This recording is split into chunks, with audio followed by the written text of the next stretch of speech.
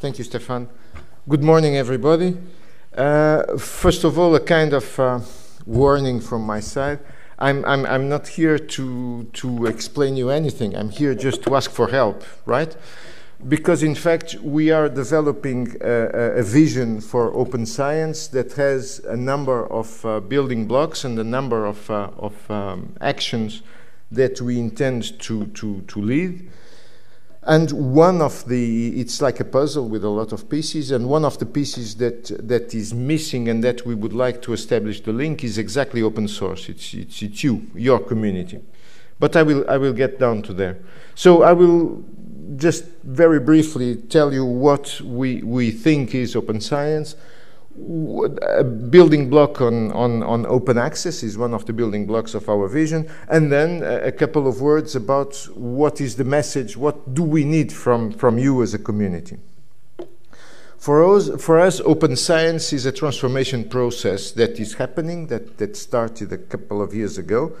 And uh, it's, it's enabled by the usage of information and communication technologies and touches the, the process of uh, making science, the process, the research at the end. The, the idea is that science will become more efficient, transparent, and above all, interdisciplinary.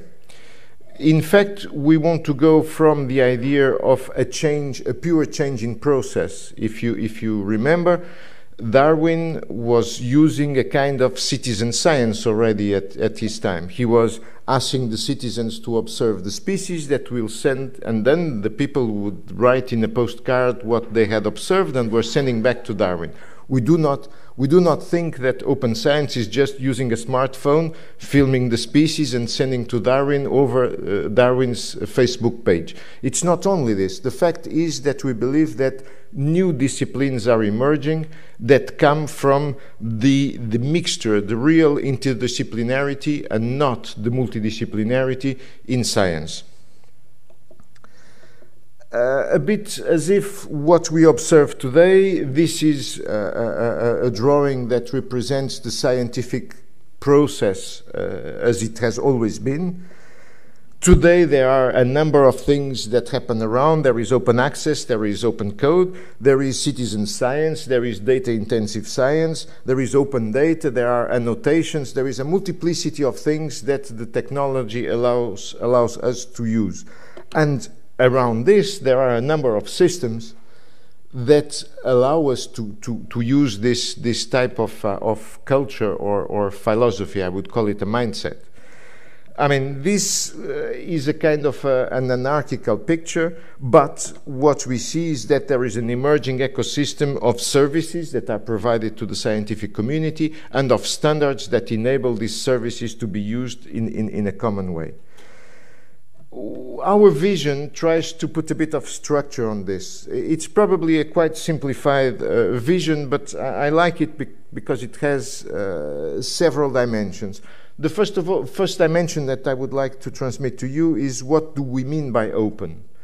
Well, if we think that uh, open science, the, the, principles will be multidisciplinarity and collaboration between scientists, on the other side we have a building block of accessibility and reusability, which is our open access policy.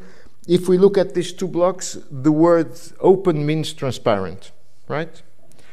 If we add the third block, which is the, the focus on the benefits for society of science, and we think about this linked to, to the open access, we, open gets the, the, the meaning of trusted, right?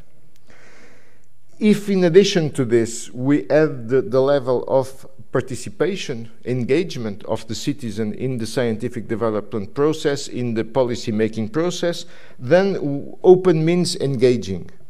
And if we look at the participatory di dimension and the collaborative dimension, we see that open means borderless. Of course, you will tell me science has always been, been borderless. It's true, but the, the meaning of the word borderless has evolved with time also. Now, what do we see as challenges for, for our vision of open science? We see a big challenge on, on what we call infrastructures, in particular for big data analytics and, and, and for high performance computing and so on and so forth. We see another challenge, which is uh, open access, open access to research results, but also open access to the processes. And this is where I, I, hope that we can establish a link between your community and us, is that open access to processes is open source. We have another dimension of evidence-based policy making that we, in our jargon, call global system science. This is mainly the appreciation that the, the societal challenges as they are, as, as we are facing them today, are global in, in, in two senses of the word global. They are global because they cannot be addressed by a country or a region, but they are also global because they cannot be addressed by a discipline. And the proof of this is the recent financial crisis. I mean, all the mathematical models for the, the financing world have collapsed with the crisis. Be why? Because they, did, they were purely economical models. They had forgotten other types of dimensions, in particular the societal dimension. Sorry. And then our fourth block is the citizen engagement, citizen science. And you will hear about this in, in, in the, the presentations that, we've, that, that follow us. When we talk about citizen science, we mean the involvement of the citizens in the scientific process at different stages. I mean, from the financing of science, the strategy of science, which is the allocation of the resources to the domains in which the, the, the governments as the main funders of, of science want to invest, and then the, the scientific process itself. A bit like the, the type of challenges that we see there are of the, the following kind. Uh, for example, the, the, the financing of science today happens, I mean, today and since a number of centuries, is, is, is done like this. There is a big hand, and this big hand is called taxation, that gets into the pocket of people, picks up the money, and then says to the owner of the pocket, you have nothing to say about the usage of your money because those guys out there that are the scientists, they know better than you what to do with your money. Do you actually believe that this model is sustainable when the owner of the pocket comes from the Facebook generation? I mean, people that are used to give their advice independently of the fact that they understand the question or not? I don't think so. I think that if we do not address this dimension of the citizen, we are putting in question science itself, right? So, when we come back to the challenges, with regard to infrastructures for us, the, the, the challenges are no limitations of access by discipline, by, by nationality, by whatever and what we call the virtual research environments, which are ways of having the scientists together without being together physically. On open access, we, we, we have open access to publications, and there we are looking at alternative publishing models. We have open access to scientific data and metadata. We have open source as the next step, open access to algorithms, methods, and tools. And we have a dimension of text and data mining, which is quite in interesting because it's linked to all our policy on copyright. On uh, evidence-based policymaking, we have the, the link between science and society in policy decisions. It's a bit like a contract between, I mean, we, we have always observed, and, and, and I'm, I'm, an old guy in the, in the European Commission, so we have always complained that there is a distance between the citizen and Europe. And we have tried plenty of ways to, to, to, to bridge this gap, to approach the citizen. We have not tried science yet, and this is what we, we, we try to, to, to promote today. and then, as, as a more as a more, I would say, technological challenge, we have the, this societal data deluge that, that is given by the, the, the data that we consider private, like our health data, the data that we consider as, as private but for the companies, like the, the data that Google has about us, that Facebook has about us, that Amazon has about us. And then there is the scientific data. So we are in a data intensive world but our algorithms are not data intensive. So there is a, a, mathematical problem of modeling. It's not only about doing the same thing but bigger, it's about doing something different. On the citizen engagement, uh, our main challenge is to say how can we go from isolated anecdotes like Galaxy Zoo, for example. It was very nice. It allowed uh, thousands of people to see millions of, of, of, telescope images. So what? What's next? Is this, is this, this way of, of, of using the citizen as, as an observatory of data is, has this become a method? The answer is not. We, we have a plenty of examples, some of them even in projects that we are, that we are financing. But these are, these are just examples. We don't have a methodology to involve the citizen at particular stages in the scientific process. And then we have the question of the financing of research. I mean, this eh, is, is something which, which, which is a vision that, that has dimensions that are orthogonal to all of this. And one of them is the alternative metrics for science and research, and in particular the open peer review. I mean, we know that it's very nice to address all the challenges in the blocks, but if we do not create the, the, the mechanism for rewarding certain types of openness and some certain types of, of, of collaboration, we will not get anywhere. If, if we do all this our, like for example, our open access policy, and we continue to evaluate the researchers according to the impact factor, this will be a major fiasco. I mean, it will be the end of, of, of openness. So there is work that needs to be done on, on alternative metrics. And the other is science for innovation. I mean, we, we believe, and we have an initiative called START, which stands for Science, Technology, and Art. We believe that the, the, the creativity is the basis for innovation. And for example, we are now starting a, a, a, a, direction of thinking that says if we sponsor residents of artists in our projects as a funding agency, we are bringing to these projects a different way of looking at things. And this might lead to other, to, to other types of innovation, to other types of products. And this is not new. Apple is doing this. Today, uh, Mercedes is doing this. For example, in, in, in, the, in the research that Mercedes is doing today for the, the fully automated car, one of the things that is lost is the eye contact between the pedestrian and the driver of the car. When the car will have no driver, where is the eye contact between the, the, the two? And they are using artists to innovate on what can replace the eye contact between the pedestrian and the driver in a fully automated car. So we intend to, to pursue this type of, uh, of, of endeavors towards innovation, is what we call science for innovation. Of course, that all this means that there is a change in culture, there is a change in mindset. And we, as, as, as civil servants, we are not there to come and say to the scientists, oh, listen, by the way, you have since 300 years done science like this, but now you better do it like that.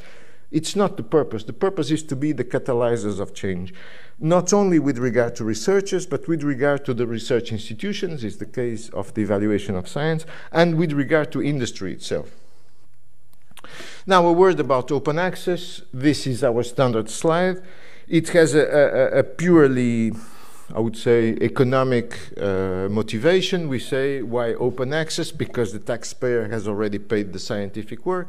The taxpayer pays the scientist when he writes the paper. The taxpayer pays the peer reviewers when they do the, the, the peer reviewing. Why should the taxpayer pay for the subscription to the magazine where the scientist will read what he has written with the money of the taxpayer? it's abnormal in our view. So this is the basis for our, our open access policy. It has several dimensions, open access to publications. Here it's very easy, it's a mandate, so all publications, I mean, now I'm talking because the Commission has several hats. Now I'm putting the hat of the research funder. And our tool to fund research is Horizon 2020. In Horizon 2020, as far as publications are concerned, the, the, the, policy is very simple. There is a mandate. Everything that you publish should be in open access. We have already paid for it. We should not pay again. So this is the, the, the philosophy. Of course, we are agnostic. We have no religion. We are not gold nor green. We are no matter which color. So we allow for the two models. The important thing is that the philosophy behind is openness. Now, what we have added in Horizon 2020 is the, the idea of, of promoting that the authors, when they put a paper in open access, they deposit also the data underpinning the paper. And this is an important thing that has a lot of links to text and data mining, as, as I, I have told you before. Now, we are on the open access to research data. This is another challenge, a totally different challenge, totally different because it's, it's, uh, it's really a different, uh, a different business, open access to scientific data with regard to open access to publications. We are in the beginning of the process, so what we have done is to launch an open research data pilot in Horizon 2020. This pilot has a scope, this pilot has a definition of data, what type of data is covered by the, the pilot. This, uh, the major objective of, of, of this pilot is to promote the idea that when you do a scientific project, the data management principles, policy, whatever that you utilize, it's important to be thought, thought in advance. And there are specific requirements for the projects participating for, to the pilot. If you are familiar with, with Horizon 2020, you can read this very easily. This is the list of the areas within Horizon 2020 that are linked to the pilot, that, that are, that, for which the projects participate to the pilot. Now, we decided to do this on a work program basis because the work program is dynamic, it changes each two years, instead of doing it in the program, in the legislation, because in order to change legislation at the community level, it's a process. I mean, it's uh, time consuming, energy consuming, consuming everything process. So we, we decided to do it at the work program level. In this way, it gives us a certain reactiveness because we say if those areas are not answering in the way we expect them to answer, then we can switch and add others, remove, and so on and so forth for the future. The, all the other actions, by the way, in Horizon 2020 can participate to the project on a voluntary basis. And all the actions in these areas can opt out of the, pro, of the pilot in particular conditions like privacy, uh, defense reasons, and so on and so forth. So there is, there is a whole concept behind the, the, the pilot. Now, what are, what are the types of data concerned?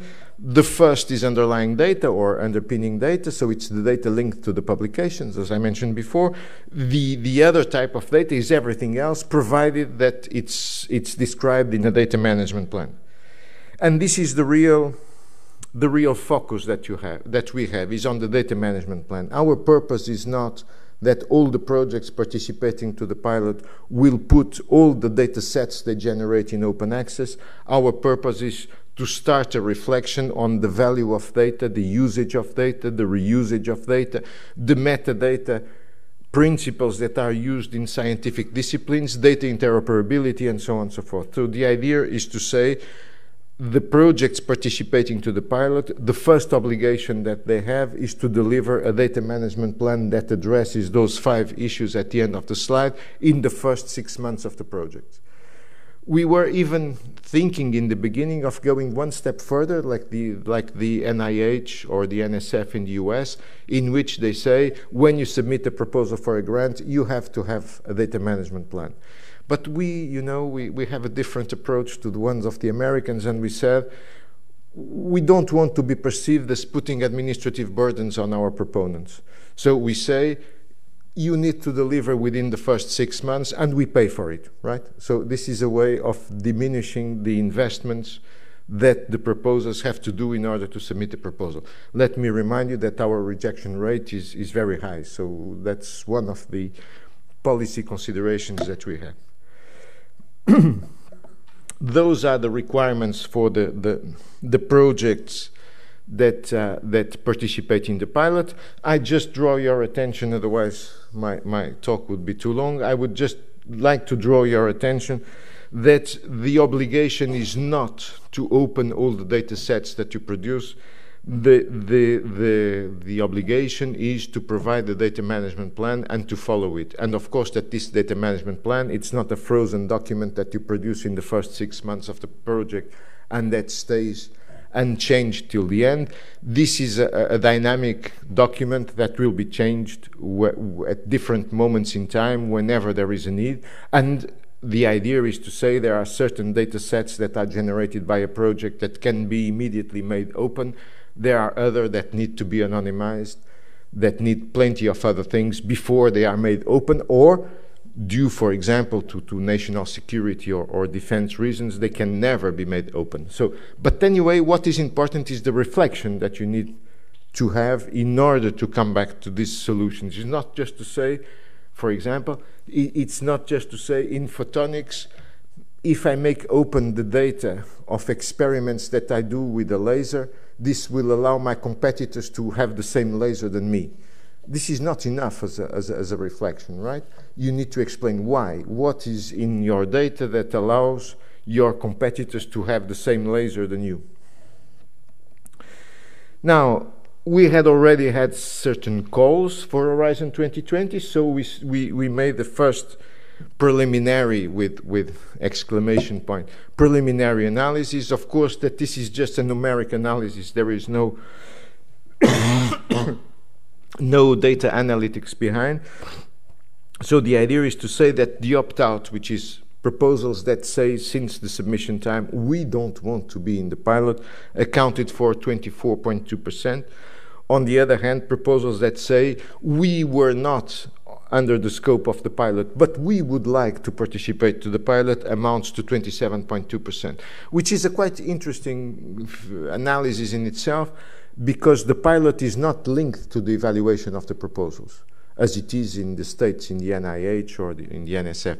The, the, the idea is that the, the openness is something that is orthogonal to the quality of the proposal, right? A proposal is not better because it opens more data sets than another one that opens only one, right? The idea is, is, is to say that the data management approach has to be sound. And this is something that, that is more on the lifetime of the project rather than on the evaluation of the proposal. Uh, we have not done the, the, the, analysis on the reasons, and that would be an interesting thing to, to, to report on, but it's not yet done. The important thing, and this is the message that I would like to leave with, uh, with you because you are potential uh, candidates to, to Horizon 2020, is that to participate in the pilot is the way to influence our policy for the future because our policy on, on open access to data will be defined based on the analysis of the pilot. So the ones that will opt, that will opt out from the pilot, they are not influencing anything.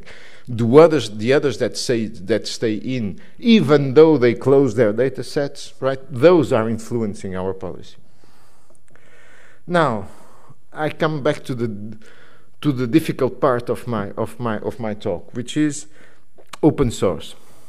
Now, we, we started our open access policy from the publications. There was a pilot in FP7. There is now a mandate in Horizon 2020. We continued with the open access to data. We are launching the pilot today.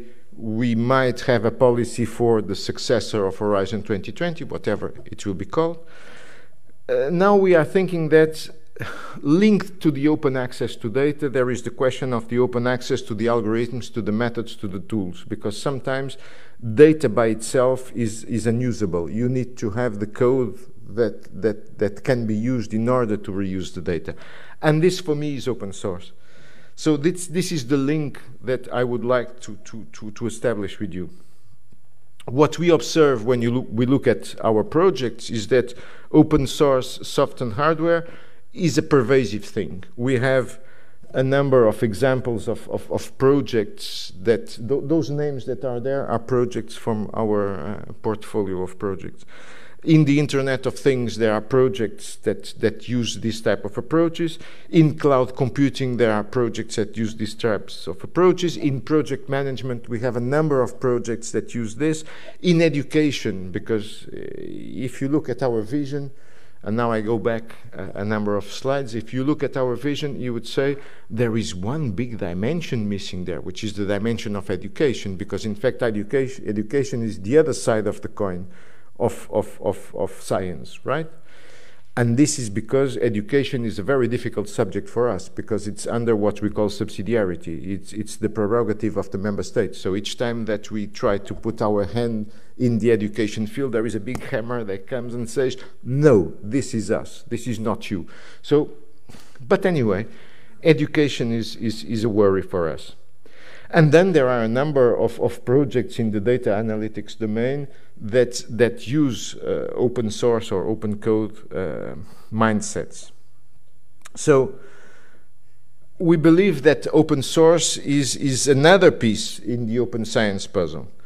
Uh, the feeling comes from the fact that it's open, it's unlimited and free access, it's reusable, it's modifiable, it's improvable. It's you can use a, a different number of, of, adjectives on this.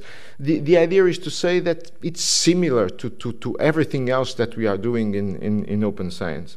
And then there is the dimension of, of, of collaborativeness, which for us it's one question, it's one uh, item that is linked to the quality of science, whatever that is, right?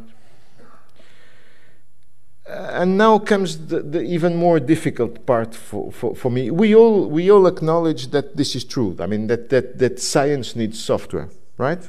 Well, my question is when science will be open science, what are the links that go from open science to the others? Probably we need to think about this. And this is the main message that I would leave to you is that we have the feeling that open source is a piece of our puzzle. We have a number of actions that we are financing that are linked in a way or another to open source. And we think that open source will be a piece of the puzzle. Now, we need your help. And that's, for us, what we believe. Open source and open science, at the end of the day, it's a mindset. And what I'm here to do is to say uh, your help is needed, please. So we, we are not teaching anything. We are, we are just saying we think about this and we would like to have a link with you, right? And there in my last slide you have a, a list of websites and so on and so forth that are the basis for, for our thinking. Thank you very much.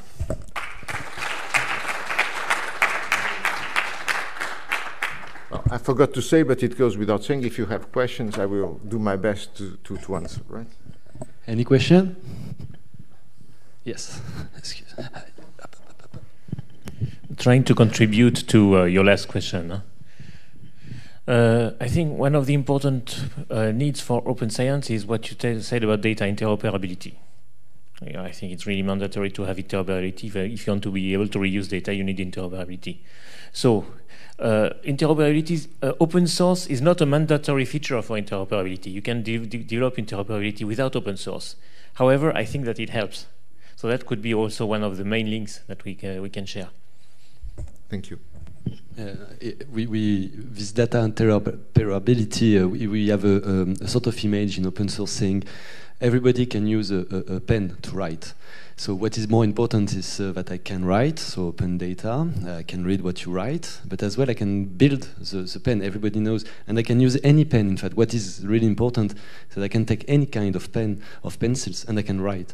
So it's interoperability is really uh, something you, you should not miss in the, in the puzzle.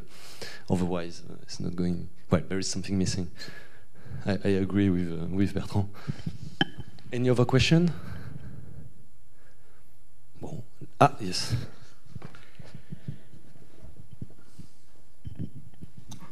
My name is Stéphane Dubeda. Thank you very much for this very nice call, uh, talk. So uh, to complete the, the question about code, uh, maybe there's a question behind, but uh, it's more a complementary commentary. Um, the a, code or program is a, a living to object, so you, it's very, difficult to, to say that I, I will be I'll, i put it somewhere. You have to, to run the code in an environment, and you have to, to also to freeze the environment. Uh, so that makes things complicated to, to leave the code and say I, I will be successful to run it again and 10 years uh, later. So we really need also some tools to to um, let's say to, to have some uh, dynamics uh, code management system at the, European level, for example, like uh, Forge or things like that. Uh, so it's, it's, it's, I think the key things to, to, to save code. So I, have also some small question uh, more about the philosophy. Uh, if I want to go to the to the main um, Open Science challenge questions. There is some listed questions I have on this uh, on this slide. Uh, when you put in the uh, major challenge uh, the link with the citizens, you put on the, on the slide a, a, a sentence which uh, I want to know what what's behind this sentence. Uh, you link citizens to a new way of funding research. I don't know exactly what you are meaning by that. Could you give us some yes. detail on this? Yes, I, I, can develop a bit on this. It's a bit what uh, what what I had said about the big hand and the, the, financing of science. You see, the the idea is to say that we we need to involve the, the, the citizens in the establishment of priorities for the investments in science. Right. This is one one one item. Is to involve the citizens, to, to ask them, and, and here we have plenty of problems linked to the identification of citizens, to the fact that not everybody is either intellectually or educationally supplied in the same way to answer the question. So there are plenty of problems that we need to solve, but what we feel is that there is a need to hear the citizen in the, in the establishment of the priorities for science. The other is very simple, is to say why not use principles of crowd financing for science, right? This would really mean, I mean, you, you put your heart or you put your, your, your, your coins where your heart is, right? And this is something that, that has not yet been tried. So one of the things that we are thinking about is, for example, when we define the prizes, and we will try to identify a number of prizes for, for science inside Horizon 2020, is to say probably not only the definition of the areas in which we attribute the prizes should be crowdsourced, but also the money that we attribute in the prizes should be crowd-financed. But this is just the beginning of the thinking. That's why I wrote that sentence there. We, we, we as, as a philosophy are in, in, in the print, in, in the beginning, right? It's not that that's why I told you I, I risk to disappoint you at the end of the day because I'm not going to present anything apart from ideas and, and, and principles for a philosophy. If you Firmin. No, I, I wanted to I understand these new ways of funding uh, from the imagine from the e-infrastructure side the millions of millions of euros invested in supercomputing power, network of sensors, and so on for smart cities, for environmental monitoring, and so on. And now think the, the, the cost of setting up a network of resources, a pool of resources from the contribution of uh, volunteers, of citizens. Um, this is this, there is a huge gap of funding models, right, and and deployment scale also the the, the speed of of deployment. So I understand also it is very efficient to ask people to contribute with the resources, and this is, can be understood a new way of funding science. You don't, you can't uh, donate something with crowdfunding, but you can also donate your computer for uh, volunteer computing, for instance. That's a very interesting point. We, we have received uh, some while ago a question uh, from the outside world on our reaction exactly to this. There is, there is a network of high performance computing that is built on private PCs. So you put your private PC on the network and it's accessible over the network to everybody that has a, a, a need for, for computing power in a coordinated way with conditions and so on and so forth this for me is providing resources. It's, it's a way of, of, of, funding in, in, in the large sense of the word funding, right? Funding is not only giving money to, can be providing infrastructures to. Any other question? Yeah. Thank you for your talk. Uh, we have developed a virtual research environment for biologists and uh, when you when we talk about open data, uh, it seems that they are very reluctant to give away their data. And you talk about alternative metrics for science and research. And uh, can you elaborate uh, about this? Well, I, I, I, can try to give you an idea of our thinking. Of course, that the, the scientific community, and, and, and this again depends very much on the disciplines, right? There are certain disciplines where to, to, to, to collect data or to produce data is so expensive that your only chance to, to work on it is to share it. And, and a concrete example is the CERN. The, there, are, there are other disciplines, and this is true when we approach the social sciences and humanities uh, domain, where it's very complicated to, to, to, to try to motivate people to share their data because they believe that if they have the data that allowed them to publish in Nature a first article, it might allow them to publish a second and a third, and therefore, if they put it on the public domain, it's not exactly the, the best approach for their careers. And this is what I feel it's wrong, right? What we feel it's wrong is that we need to reward people in a different way, in, in a way that is different from the way in which they publish. Okay? For example, the impact factor, everybody knows, was something developed uh, a couple of hundreds of years ago in order to say uh, well, the libraries need to subscribe to certain journals. So we need to have an index of quality of the journals in order to help the libraries to decide which journals they subscribe to and which they don't. And this became, over the time, the way to judge the people that publish in the journals, right? It's a bit abnormal. The, the counting of the citations for me, it's also a bit abnormal because the fact that you are quoted 300 times has very little sense if 200 of 99 of them are to say that you are stupid, right? I mean, on the opposite, when you are quoted just 10 times and all of them are to say that you are great, it's probably best. Or, I mean, I'm, I'm, I'm making a caricature, of course, but the idea is to say that we do not qualify the quotations, right? We just count them. And there is something wrong with this process, right?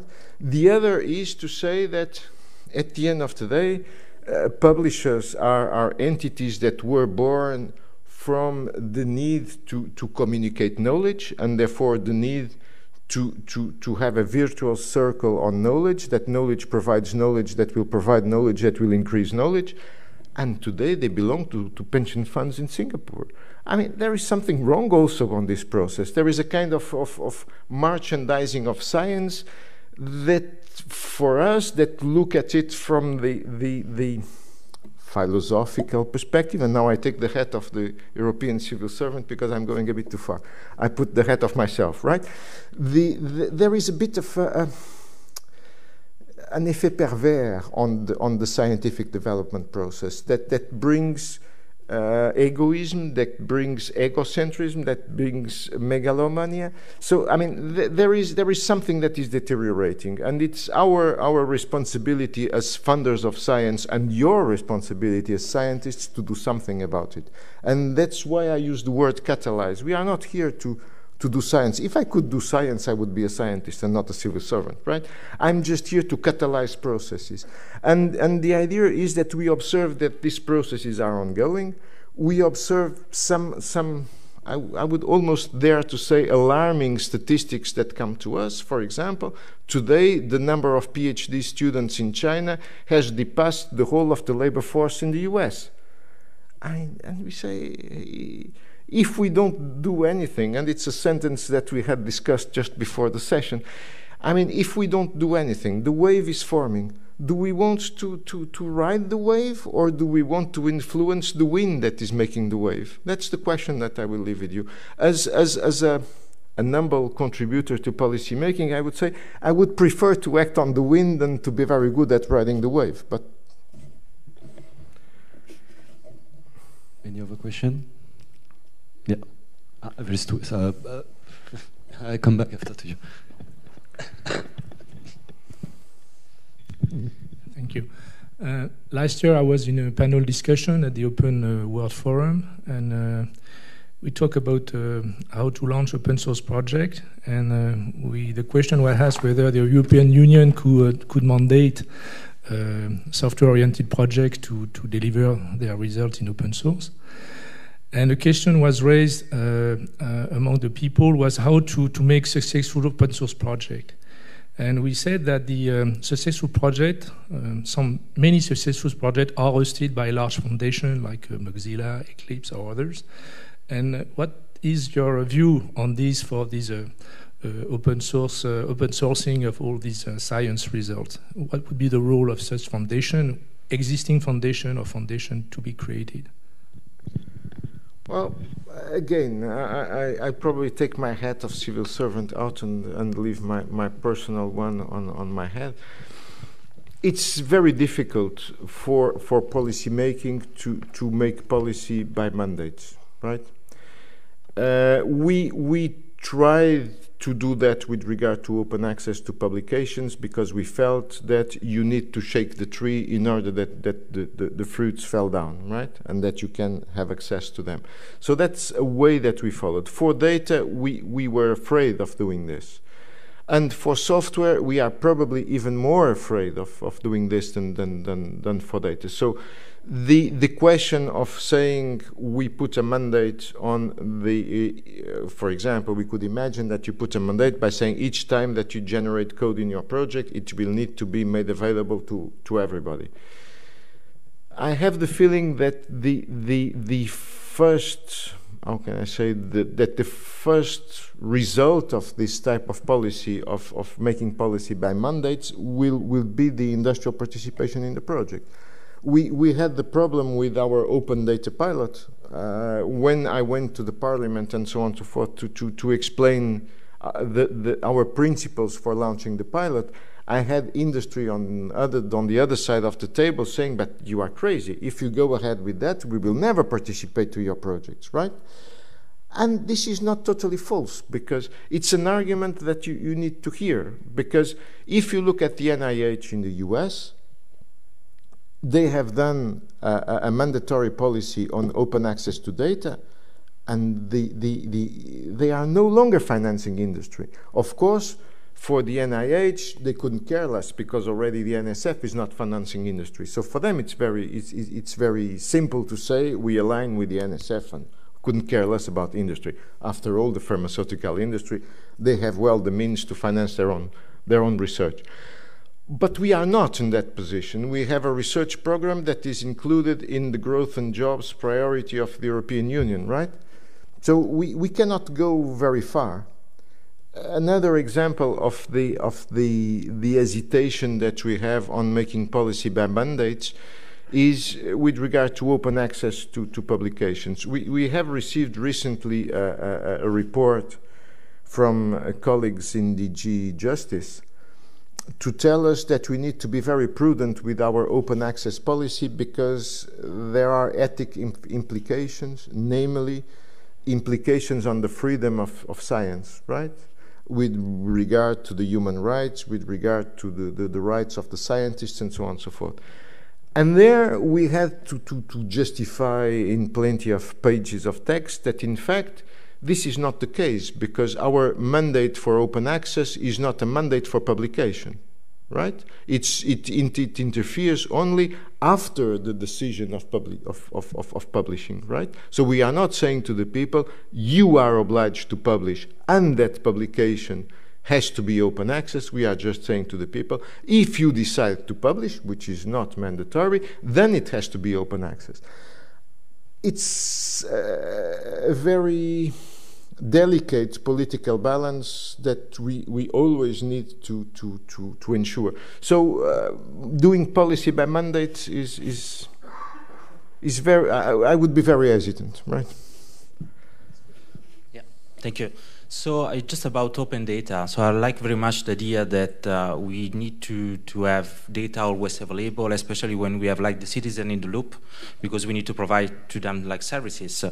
But I'm just wondering now because we have uh, sometimes municipalities or uh, or whatever, I mean, organization that put data available about citizen, and these are public data about ourselves that we don't know that they are collected because uh, might be from cameras or whatever, and then like in London, there are more cameras than everywhere, so I mean, uh, so now there is a problem boundary between like privacy because I'm as a, as a, citizen, I would like to contribute to science with my data, but still like in anonymous way or maybe like getting uh, a service in return. So somehow, let's say that uh, the, the, the privacy policies don't, don't really protect the citizen against any kind of attack that could be done on these uh, public uh, public data somehow. So I don't know what is the position of the Commission uh, with respect of inferring information from uh, public data and then using against the citizen. There, there, there, I can take my private hat and put the hat of the civil servant again, and I can give you the, the official answer. I mean, we, we in the Commission have a whole policy for public sector information, right? There is the directive, there is an obligation of, of, of, open access to, to public information. So there is, there is a whole set of, of legislation that deals with the, the gathering and reuse of information by the public authorities on the citizens. What we are talking about here is scientific data, right? Which, by the way, it's an exception to, to the legislation of the public sector information, because at the end of the day, you can say if the, the governments are paying for science, the data produced in the scientific process is public data. This is not the case, because there is an exception to, to, to the, to the legal framework. So we have a whole set of legislation on, on the public data. And of course, that we have a whole set of legislation on data protection and, and, and privacy and, and so on and so forth. So the, the two packages are, are, are, are coming around. But uh, as far as I am concerned, from a, a, scientific data perspective, our fear is exactly the opposite of what you said. Our fear is that the reinforcement of the data protection legislation and legal framework will put in question the open access to scientific data, right? And this is a relationship that we are trying to establish within the Commission with our colleagues that deal with data protection in order to say we need to be very clear with what is data protection and even data that is, that is named, right? I can give you an example of, of a recent thing that I came across, which was in the bio, biomedical case uh, field there was uh, uh, there is a kind of uh, um, agreement that can be signed to share data that makes no difference between electronic data and physical data. You know the the physical. Um, I don't know how to say it in English. The the the the, the, the samples of, uh, of, of of blood and so on and so forth, and they have made no distinction. But they have ensured in this kind of uh, framework agreement or license, or you call it whatever you want, that there are two levels of, uh, of, of making the data anonymous. So there cannot be no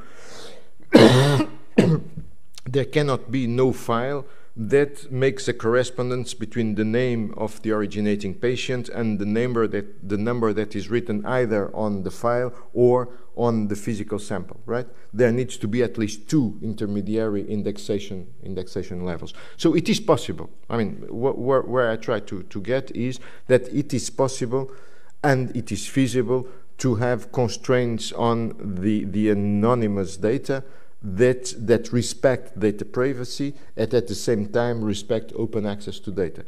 It's not simple, but it's possible. Thank you very much. You're welcome. I think